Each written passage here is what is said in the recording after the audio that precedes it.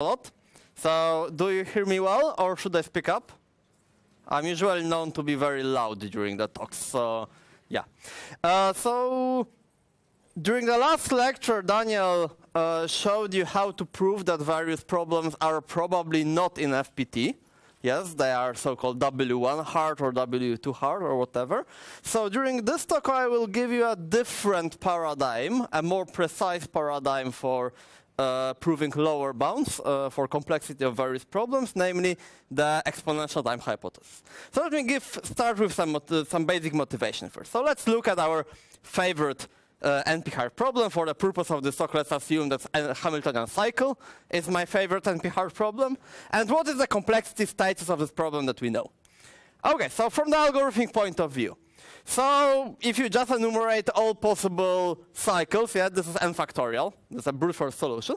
But if you do standard dynamic programming on subsets, so basically for every subset you remember whether there exists a, a walk for, uh, a, a, path from this vertex to this vertex, and you do this dynamic programming, then already in the 70s, Held and Karp observed that you can do it in uh, 2 to the n time.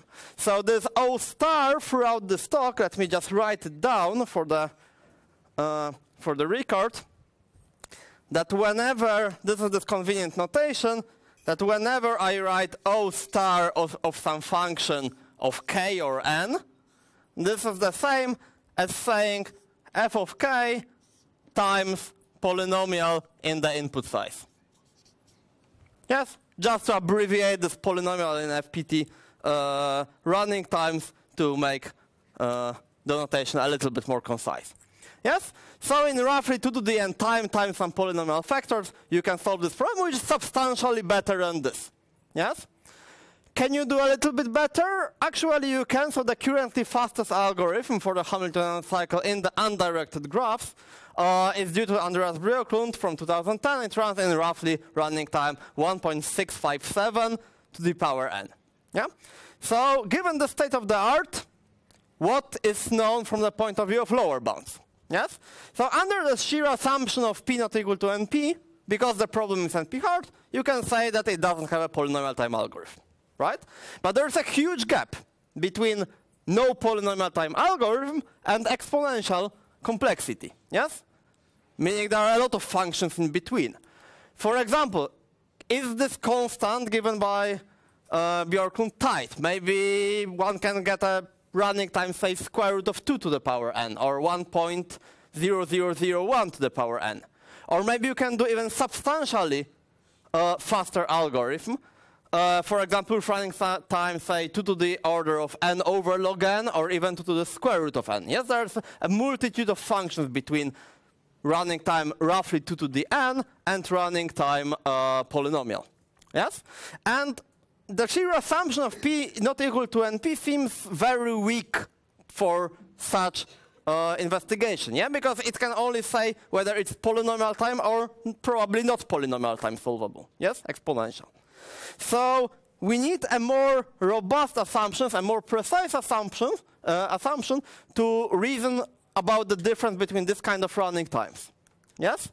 And this in particular applies to all these results that we had in parameterized complexity. We have already seen today many different FPT algorithms with many different running times. Most of them had the standard running time, some constant to the power k, or equivalently 2 to the power order of k. Yes? But you can also get FPT algorithm with running time 2 to the roughly square root of k, or say 2 to the k square, or k to the k square, or doubly exponential in k, and so on and so on. Yeah? These are qualitatively different FPT running times. Yes? And the core assumption that we have in parameterized complexity, FPT is not equal to W1, only tells you that probably, well, doesn't distinguish all, any of them. M even more, if you look at the XP algorithm, so the where the running time is of the form n to some function of the parameter, yes, these are also like substantially different, uh, different running times, yes? Qualitatively uh, different running times. And if we prove that a problem of our interest is W1 hard, then probably we know that there is no FPT algorithm, yes? But distinguishing running time n to square root k from running time n to k, order of k, yes? it seems very difficult under just the assumption of fpt not equal to w1. Yes? Good. So, yes, so we want some more precise assumption to reason to have, to have finer lower bounds on complexity of different problems, both in terms of like standard complexity theory and in terms of parameterized complexity. And the goal in here is to create so-called fine-grained complexity theory, which means that we want to get a really good and precise bounds on the complexity of problems that we are trying to solve. Yes, both from the upper bound and from the lower bound as well. Okay, so the base of our assumption exponential time hypothesis will be complexity of the three-sat problem, similarly as with, uh, with P versus NP uh, paradigm. Yes, so just to recall, uh, in the three-sat problem, we are given, uh, given a formula in, uh, of propositional logic in uh, 3CNF, say with n variables and m clauses, Yes, and we ask whether this formula is satisfiable, which means whether I can evaluate the variables to true or false so that, uh, so that all clauses are satisfied. So to give you an example, 3CNF means that my formula is in the following form. It is a conjunction of clauses, yes, and each clause is a disjunction of at most three literals. Yeah, so a formula could look like this. this here are three variables, x1, x, x2, and x3. These are three clauses. Yes, so they need to be simultaneously satisfied because they are conjuncted here, yes? And this clause is satisfied if x1 is true, or x2 is true, or x3 is false. Yes, and I ask whether I can give a true-false table for all the variables that satisfies all of them. Good, so the trivial algorithm to decide this problem is 2 to the n, yeah? Go through all the possible evaluations. Yes? However, already after the talk of Fedor today, you could come up with a smarter solution, namely as follows. Let me take any clause that is not satisfied so far. Yes? It has at most three variables. Yes? There are seven assignments of those variables that make this clause satisfied. Yes? One is excluded because this is the one that does not satisfy it. Yeah? So let me branch on those variables. Yeah? So I branch into seven possible directions into seven possible subproblems, in each fixing one of those ev evaluations that satisfy this clause. Yes? After I fixed evaluation of those variables, I can reduce them from other clauses. Yes, whenever a clause is satisfied, I just remove the whole clause. Whenever there is some literal that got not satisfied in some other clause, I just remove this literal. Yes, so in this way I can simplify the instance and proceed. Yes? So we branch into seven options for every clause that we branch on, yes? Which leads to running time 7 to power n over 3, because we reduce the number of clauses, the number of variables by 3 whenever we are doing branching, yes? So we have bounded depth bounded by n over 3, and at each step we have seven options. Yes? If we had here 8 to power n over 3, you get exactly 2 to the n, and this would be functional equivalent to just brute force. Yes, but 7 to n over 3 is actually a little bit better. Yes? So this is a very simple um, improvement. Actually, you can do much better. So the currently best algorithm works in running time 1.308 to power 9. This is the famous PPSZ algorithm. It actually is not branching. It is a much smarter idea. Maybe Daniel at some point will be talking about stuff similar to this. Okay, so using the same trick for every queue, whenever you're looking at QSAT, where the length of the clause is bounded by Q, yes, you can do some improvement. Yes, so you, can get separated by from 2 to the n. So you can get running time 2 minus epsilon q to the n. Yes, but this improvement diminishes with larger and larger q. Yes, so so far we cannot get better significantly uh, than 2 to the n for all different queues. Yes? Okay, so this is the state of the art. So this state of the art sort of suggests two hypotheses. Yes? So two questions. First of all, can we do significantly better for 3SAT? Can we get a sub-exponential algorithm for 3SAT, 2 to the small o of the number of variables? Yes? So far, we had an improvement in just the base of the exponent, but we are very far from getting something significantly better. Second, if I do not have any bound on the length of the clauses, yes, so I'm concerned with arbitrary CNF sat problem, yes? Can I do anything better than the brute force going through all the possible 2 to the n evaluations? Yes? So given these two research questions, which are we are sort of very far from, uh, from solving, they suggest two natural uh, definitions for exponential time hypothesis and strong exponential time hypothesis. These are not the exact statements, but these are like first attempts. And functionally, when you talk to people, this is basically what people think is actually ETH and strong ETH. Yeah, so ETH says that just 3SAT is not solvable in sub-exponential time in terms of the number of variables. Yes? And strong ETH says that CNF SAT, so without any bound on the length of the clauses, cannot be done in some alpha to the n time for any alpha that is smaller than, than 2. Yes? Okay, so these are like formally correct research statements. Yes, correct scientific statements. It turned out that actually these two statements are not really robust with respect to different reductions. Yes, so the actual statements are a little bit more formal, not that much more formal, well, not that much more complicated. Okay, so let me look at QSAT, the complexity of QSAT, for some Q larger or equal than 3. Yes? So let me think about all the possible C's for which there is a 2 to the Cn algorithm. Maybe there is a 2 to the n algorithm for C equal to 1. Maybe there is a 2 to the po 0.5 n algorithm. Maybe a little bit smaller and so on and so on. Yes?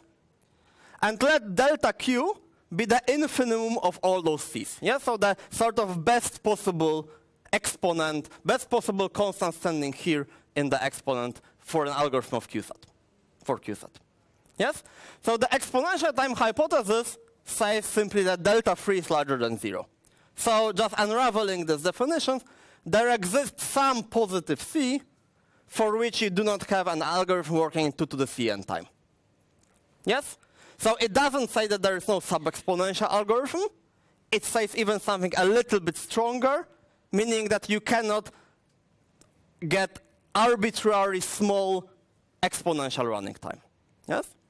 For strong exponential time hypothesis, or SETH, this just says that the limit of all those savings is 1. Yes? Which means that as Q grows larger and larger, yes, you cannot avoid doing brute force enumeration in some sense. Yes? So the, uh, the savings that you can get uh, diminish uh, to zero.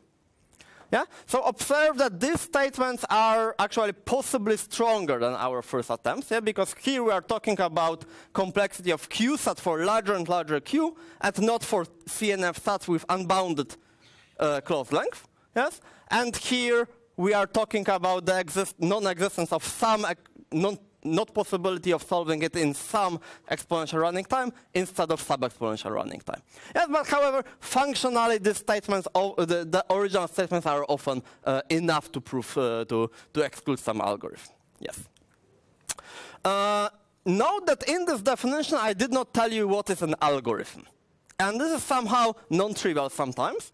Uh, you either say that algorithm must be deterministic, or you may assume that this algorithm for solving QSAT uh, could be, say, randomized with two-sided error. Yeah? In this way, you get a randomized ETH. Yeah?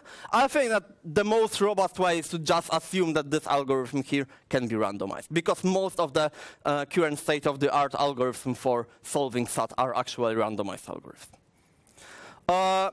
Okay, so as the name suggests, strong ETH implies ETH. However, this is a non-trivial fact.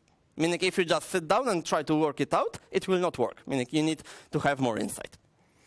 Uh, we will actually not prove it. So some history. These two hypotheses, as stated here, were formulated by Impagliazzo, uh, Paturi, and Zane in 2001. Uh, so some time ago already.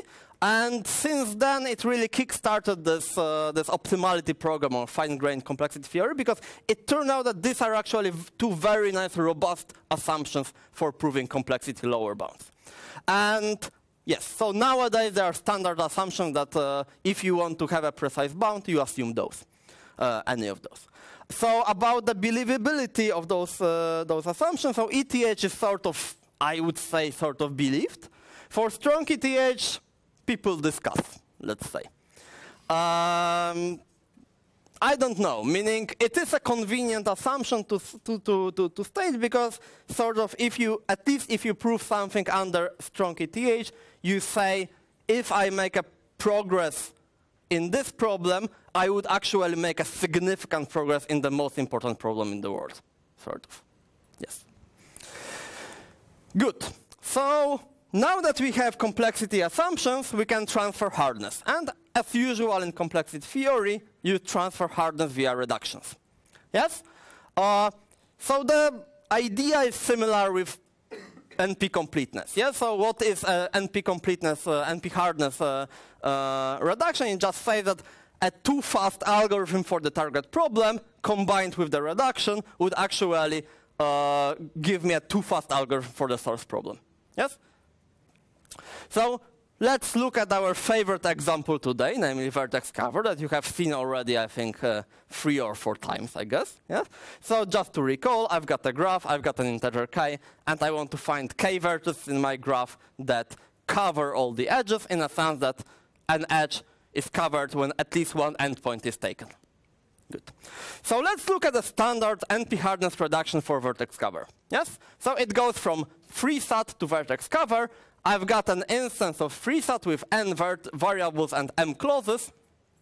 And I create the following gadgets. For every variable, I create an edge with one endpoint labeled with the positive literal of this variable and one endpoint labeled with the negative uh, literal. And for every clause, I create a triangle. So if this triangle corresponds to clause x1 or not x2 or x3, then let me label its vertices like this. Yes? And now I just connect all the vertices labeled with certain literal with the corresponding vertex in the variable gadget. And that's the end of the, of the reduction. I claim that the initial, the original instance of 3SAT is satisfiable if and only if this graph admits a vertex cover of size n plus 2m. So let's analyze it for a moment. Observe that from each of those edges, I need to pick one vertex, at least. From each of those triangles, I need to pick at least two vertices. And I've got budget for the vertex cover n plus 2m. So this is tight. So I need to pick exactly one guy from, from, from each of those edges and exactly two from those. Yes? Okay, so this means that for every variable, I have a choice. I either take positive instance or the negative instance. positive literal or the negative literal. And now if you look at this triangle here, yes, if I simultaneously pick the wrong guys, making this clause not satisfiable, not, not satisfied, this means that in this triangle, I cannot pick two vertices in order to cover all those three edges. On the other hand, if any of those is taken, then in the triangle I just take the, the complement 2. Yes? So this is the most standard reduction for the vertex cover problem. So let's analyze it. So let this capital N be the number of vertices in the, in the output instance, and this is like 2n plus 3m, right? So this is linear in the number or in the total size of the input formula, which is the number of variables plus the number of clauses. Yes? So naively, the number of clauses in a 3SAT formula is at most cubic in the number of variables, yeah? because there are cubic number of possible clauses. Yes? So the size of the output is like n cube, where n is the number of variables.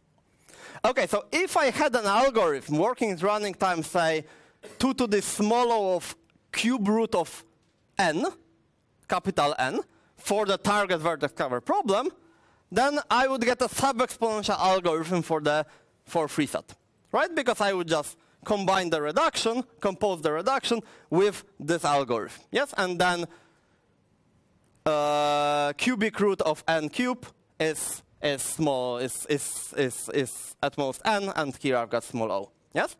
However, this, there is still a big gap, yeah, because we do not know any sub-exponential algorithm for uh, for vertex cover in terms of the number of variables, uh, of, of, vertices, and we got a much weaker lower bound. Yes? So the problem here is that we've got this naive cubic blowup. And the observation is that if I started with an instance of 3SAT that is sparse, in the sense that the number of clauses is linear in the number of variables, then here I've got, I would have linear in n, and everything would go work. Yes, I would have a lower bound uh, that would uh, uh, that would refute the existence of a sub-exponential algorithm for, for vertex cover.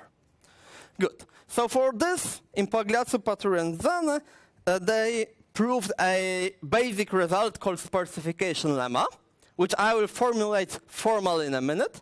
But informally and sort of functionally, it says that if you have an instance of QSAT for some constant Q, then you can pre-process it in sub-exponential time to make the number of clauses linear in the number of variables. Yes, to make it sparse in this sense.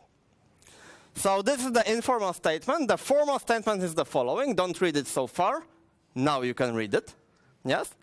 So it says the following. I've got an instance of QSAT for some fixed Q with n variables and m clauses. Then let me fix some parameter epsilon larger than zero. This is a parameter, this, this, that's a real that is as small as I wish. Yes? Now I can work in 2 to the epsilon n time, so in exponential time, but as small exponential as I wish. Yes?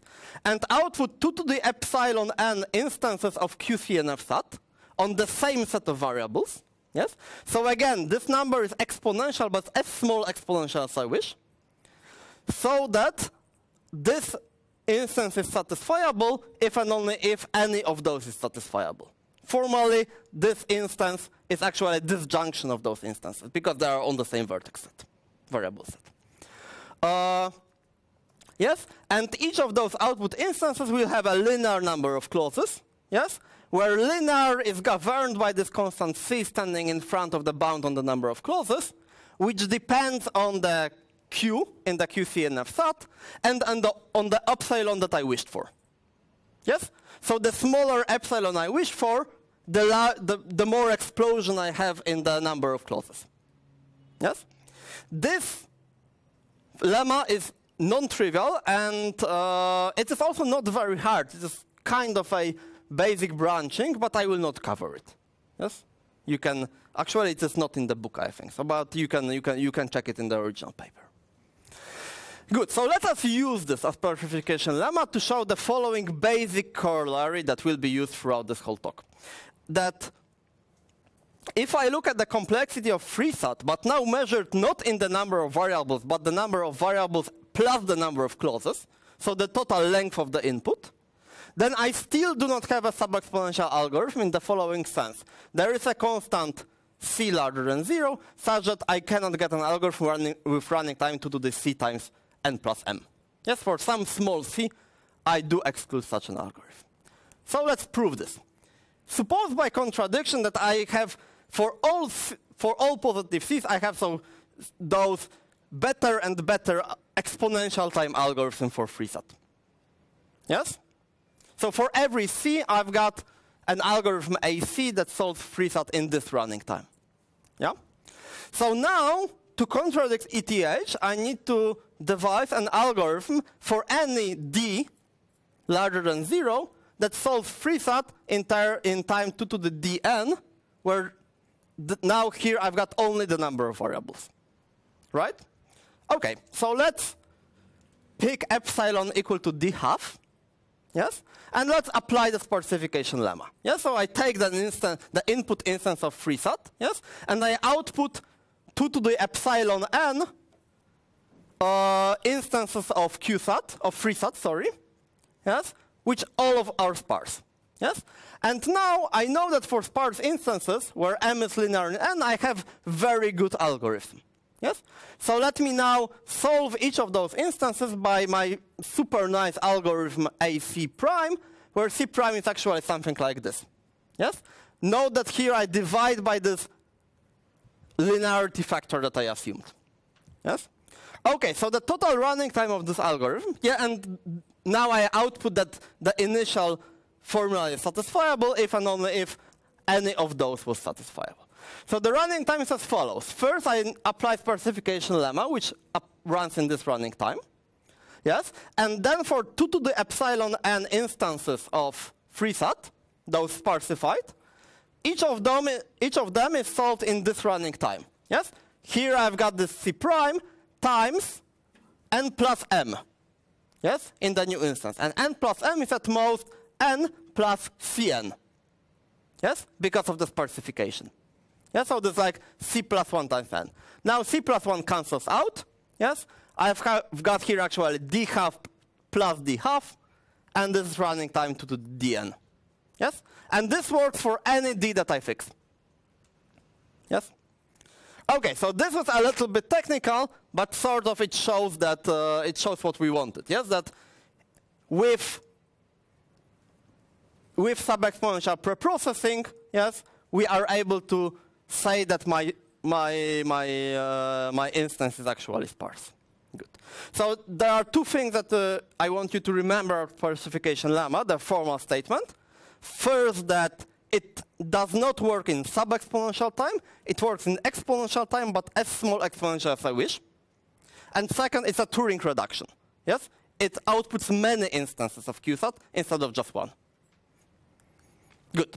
So the corollary is as follows. If I have no exponential time algorithm for some small c, then in particular I don't have a sub-exponential algorithm for 3SAT. Right? In terms now of the number of variables plus the number of clauses. Yes, so the total input size. So now observe that our reduction from 3SAT to vertex cover produced an output which had linear number of vertices and linear number of edges in terms of the whole input formula. Yes?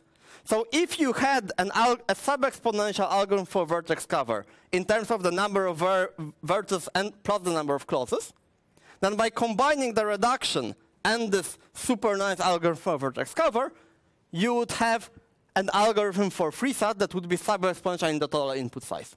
Yeah, contradicting ETH. Good. Okay, so this basically shows you already how this transfer of hardness will be, will be working, yes? If I have a, any problem, this is like a standard problem, non-parameterized so far, yes? Where you have a reduction from 3SAT, where the blow up of the reduction is governed by this function f. So the total output size is bounded by f of the input size, where input is the number of variables plus the number of clauses. Yes? Then under ETH, you exclude an algorithm for the target problem with running time 2 to the small o of the inverse of f. Yes? Where the inverse is basically what you expect. Yes, the inverse of exponential function is logarithm, the inverse of quadratic function is square root, and so on and so on. Yes? So for linear reduction from 3SAT, actually if you look at uh, the complexity theory literature and the standard NP hardness reductions for various problems, many of them are linear. So for problems like feedback vertex set, or dominating set, or 3-coloring, or Hamiltonian cycle, all of them do not possess sub-exponential algorithm under ETH, because just the reduction is linear from 3SAT. Yes? Okay, however, this, this sort of rule of thumb suggests that you can also prove more exotic lower bounds. Yes? Because maybe the, the, the instance blow up in the reduction is, say, quadratic, then you exclude an algorithm running time to do the square root. Yeah? So let's look at one such example. So consider the planar vertex cover problem. It's just the vertex cover problem that we all know and love, restricted to planar graphs. Yes? So let's inspect what the standard NP hardness reduction for this problem does. It takes a standard instance of vertex cover on general graph. We know that this problem is NP hard. You embed it in the plane. And of course, when you embed it in the plane, you can get some crossings. Yes? So whenever you have a crossing, you just replace it with this 22 vertices gadget. Yes? And basically, you then argue that the input instance had the vertex cover of size blah, if and only if this new graph have an instance, uh, have a vertex cover of size blah prime. Yes? For appropriate blah and blah prime. Good, so let's analyze this reduction. Yes? So this reduction takes an instance of vertex cover on n ver vertices and m edges. Yes? And introduces this crossing gadgets. So how many crossings there are? Well, at least at most quadratic number. Yes? For each crossing, I introduce 22 vertices, which is a constant number. Yes? So we output an instance where the number of vertices is quadratic in the input size. So if now you had an algorithm running time to do the small o of square root of the number of vertices for the planar vertex cover, you would immediately get a sub-exponential algorithm for the original vertex cover, yes, contradicting ETH. Yes? And observe that actually, well, observe, actually planar vertex cover has such an algorithm running time to do square root n. Yes? Uh, this is a first corollary of the so-called Lipton-Tarjan uh, separator theorem that says that a planar graph on n vertices has a balanced separator of size square root n. So a separator consisting of square root n vertices, which splits the graph in a balanced way. And then you can div apply divide and conquer. A more modern way of saying this is that the planar graph of, of size n has treewidth square root n, and then you can apply dynamic programming on graphs of bounded treewidth, which will be during Daniel's talk tomorrow. However, this means that we have tight bounds. There is an algorithm running time 2 to the order of square root n, yes, and 2 to the small of square root n is excluded, yes? And this shows that the square root n in the exponent is not a coincidence. It's not an artifact of this, of this technique, yes? It is an inherent component of the complexity of the problem, yes? Good. So now that uh, so now that uh, uh, we are done with the exact exponential time algorithm, let's. Uh, how much time do I have? So 10, 10 minutes? Okay. I'll try to be quick then. or maybe I'll just be more relaxed and skip some material. Okay, so now we are done with the exact uh, exponential time algorithm. Let's look at more parameterized setting. Yes. So consider the clique problem. Yes. We are given a graph. We want to check whether it has a clique on k vertices. Yes. So the trivial algorithm n to the k. Yes. Daniel already told you that you can do slightly better. Yeah. The, there is this very nice algorithm of Nešetřil and Poljak. And well, under the sheer assumption of FPT not equal to W1, you can exclude an algorithm that runs in FPT time. Yeah, but still, between this running time and this running time, there is a large gap. Maybe there is an algorithm with this running time. Yes? Now we will prove that this is actually not the case.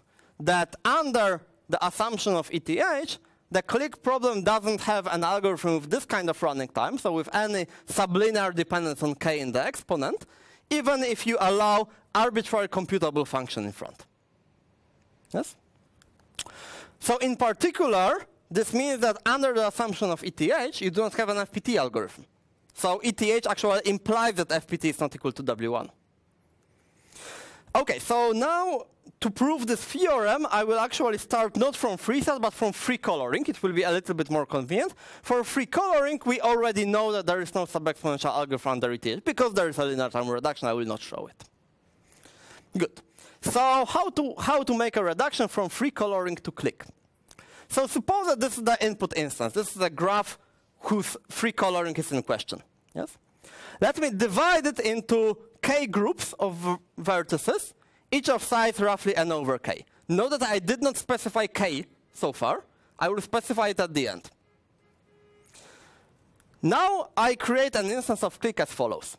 For each group, being a column here, I look through, I it, iterate through all possible 3-colorings of this group, and I make one vertex only for those 3-colorings that are consistent, in a sense that there is no edge with both endpoints of in the same color within this group. For example, this vertex would correspond to, to such a coloring, and this vertex would correspond to such coloring of this group. Yes? So these are vertices of my graph. Now the edges. Whenever I have two colorings of two different groups, yeah, let me inspect them and see whether they're consistent with each other, whether the union doesn't have a two vertices of the same color joined by an edge. If so, I put an edge. And if not, then I make them a non-adjacent. So now it should be clear that if you have a 3-coloring here, this corresponds to a clique here. Because these colorings are consistent within the groups and pairwise compatible. On the other hand, if you have a clique here, then if you take the union of those colorings, you can easily see that this is a consistent coloring here. And this is because every edge either has two endpoints in the same group, and we have consistency within the group, or has endpoints in two different groups, and then we have compatibility between different groups. Yes? So let's look at the, at the reduction that we have just shown. Yes? So the output graph has a k-clique if and only if the input graph had a k, uh, was 3-colorable. And the number of vertices is, well, like k times 3 to the power n over k. Yeah, it's huge. Yes? However, if k is, sub, uh, is, is super constant, this is actually sub-exponential. Yes, this is the key. Okay, so let me put k equal to log n for a starter, and assume that this clique problem can be solved in time, say, 2 to the k times n to the small o of k. Now apply this algorithm to this uh, to this output instance. Then we get running time 2 to the k is actually n, because 2 to this 2 to the n log, uh, again, this uh, 2 to the log n. This k to the or small o of k is actually some small factor, this is quasi-polynomial. Yes? And then we've got this huge factor, 3 to the n over k to the power small o of k. So this resolves to 3 to the power of n over log n times small o of log n. So this is actually 2 to the small o of n. This is sub-exponential. Because we have this log n canceling out. Right? So we would get a sub-exponential algorithm for the 3-coloring problem. Yes? If supposing this. Now, if I take k equal to log log n, I can similarly exclude a running time of this form. Yes? It's just that I need to take k sufficiently small to kill this f of k factor inside, in, in front here. Yes? Again, here I would have small o of log log n divided by uh, log log n canceling out and giving me some, uh, some improvement. Okay, so if you now replace this 2 to the k, 2 to the 2 to the k with arbitrary function f, then actually you need to take k being sort of inverse of n uh, under this function f. There are some technical difficulties regarding the computability of this, but let me, let me ignore them. But let me give the intuition of what actually happened. In 3-coloring, we have the search space of all possible 3-colorings of the graph. Yes? And in the k-clique problem, we have the search space of all possible k-tuples of vertices. What we did, we sort of took the first search space of size 3 to the n, we chopped it into pieces, and embedded it into the other search space, intuitively.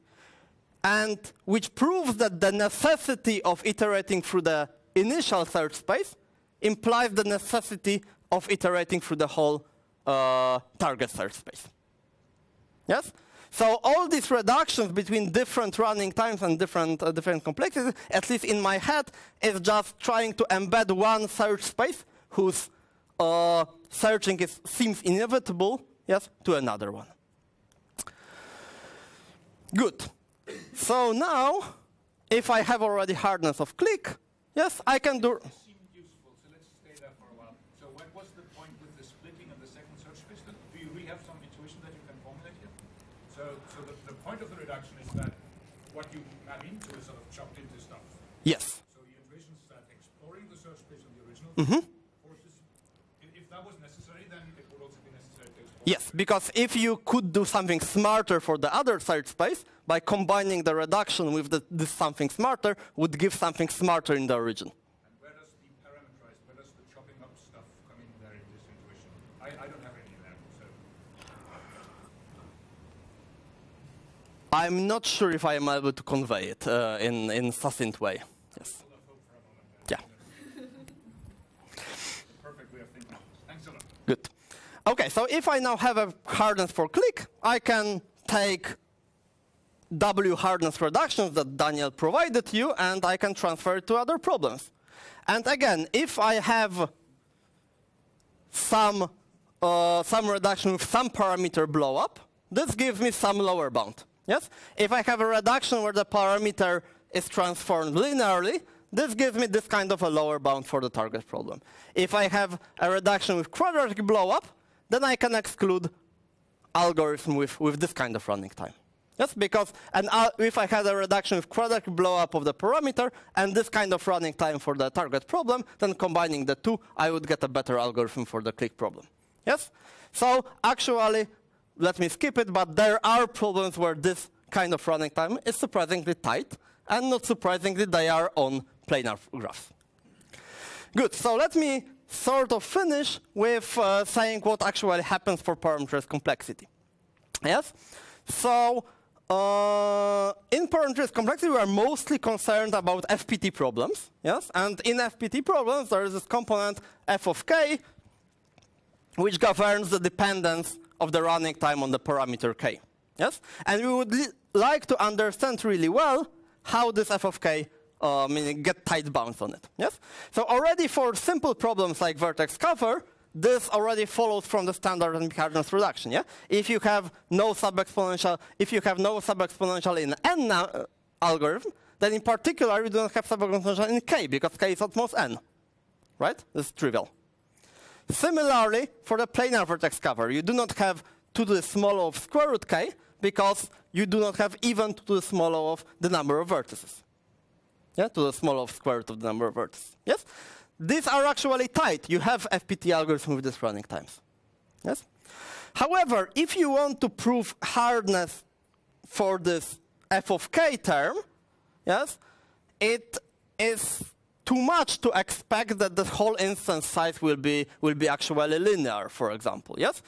You are measuring the complexity in terms of the uh, of, in terms of the parameter. Yes. So even if you have a reduction that works, say, in polynomial time, the output instance is polynomial, not necessarily linear, but the parameter is linear in the total input size, then you even then exclude a sub-exponential in k algorithm. Yes? For example, if the output instance is polynomial in the input, and k is linear in the input, then still a running time, an FPT running time of this form, yes, for the target problem would give me a sub-exponential algorithm for the original problem. Yes? But so this means that again you have this, this lemma about the transfer of the, of the hardness. If you have a reduction from 3SAT with this kind of parameter blowup, and you had a better algorithm for the, uh, then you can exclude an algorithm with this kind of running time for the target problem. So quadratic blowup gives you square root. Yeah, square root blow up gives you quadratic lower bound and so on. Because combining the reduction and a better algorithm for the target problem would give you a better algorithm for, for that. Uh, good. For many problems, the situation is simple. Namely, you just look at out-of-the-shelf uh, reduction and it gives you tight bounds. Yes. However, there are some uh, more exotic running times in FPT field for which you can prove uh, for which you can prove uh, hardness. Uh, for example, if you look at those slightly super exponential running times, so of the form 2 to the order of square uh, 2 to the order of k log k, which is like k to power order of k, yes? These, these algorithms appear naturally in the FPT field. For example, when you are doing the branching procedure that instead of, that has a tree of depth k, roughly k, yes? However, at every step, instead of branching into two or three possibilities, it branches into poly k possibilities. Yes? Then the whole branching tree has size k to the k. Yes?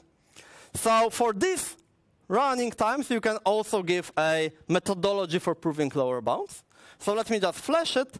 What you do, you look at the following k times k clique problem. This is very similar to what we have done. The input is a k times k grid yes, a graph on a k times k grid, and I ask whether there is a clique consisting of one vertex at a row. Yes?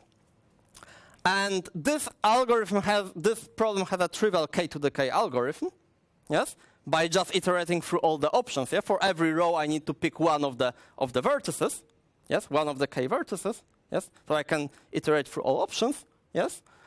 Uh, and the intuition is that this is very similar to the clique problem, because in the clique problem, you have k options, one in n, to choose from. Now we have k options 1 in k. So if you now take the reduction that we already had for the clique, and you apply it for k being roughly n over log n, if you work out the details, you show that this running time is tight. You cannot get a better algorithm than 2 to the small o of k log k. Yes? And again, once you have this archetypical problem for k independent choices 1 in k, you can transfer hardness via reductions to some other problems that let me skip. Okay, this one I will skip as well. Uh, and let me go to the conclusions. Oh, no, let me go to the strong ETH to just mention what will be happening on Tuesday.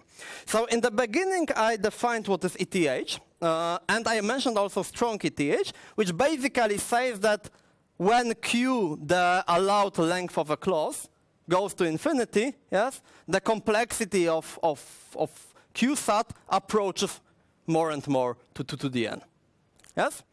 So ETH basically says something about the asymptotics of the exponent, whether the exponent of the running time should be linear or square root or quadratic or whatever. Yes? This assumption actually says something about the exact value of the coefficient in the exponent, or equivalently on the exact value of the base of the exponent. Yes? So when you are doing ETH hardness, hardness under ETH, you care about the asymptotics of the blowup. We care whether the blowup is linear or quadratic or whatever, yes? Now if you are doing reduction for strong ETH, it is crucial whether the new parameter is, say, 2k or 3k, because this directly affects the coefficient that you are caring about. Yes? So this means that lower bounds under strong ETH are much more technical and delicate, and also much scarcer in the current uh, landscape. And Daniel will talk more about strong ETH and what you can derive from it on Tuesday. So to conclude, ETH, exponential time hypothesis, is a tool that is more precise than p not equal to np, that allows you to estimate what is the asymptotics of the, expo of the exponent for np hard problems. Yes? Uh, it, the paradigm applies to many different fields, actually, not only parameter complexity, but mostly to just exponential time algorithms, and also to W hard problems. In particular, ETH implies that FPT is not equal to W1. Yes? It is still an imprecise tool, meaning just saying that there is no sub-exponential algorithm doesn't give you that much information about the complexity. Yes? And for and then you need stronger assumptions to, to say a little bit more. And all of this opens this field of fine-grained complexity theory, where you are interested in getting matching upper and lower bounds for, for different kind of problems. Yes? And the main motivation is that if you force yourself to really understand what can be done and what cannot be done, yes, then you really understand how particular parameter affects the complexity of the problem. Yes? And byproduct is that by systematic uh, investigation of this, you can actually get, and we did get, unexpected algorithmic results. Yes, so this applies not only to parameters complexity, but to more fields in general, and thank you for the attention.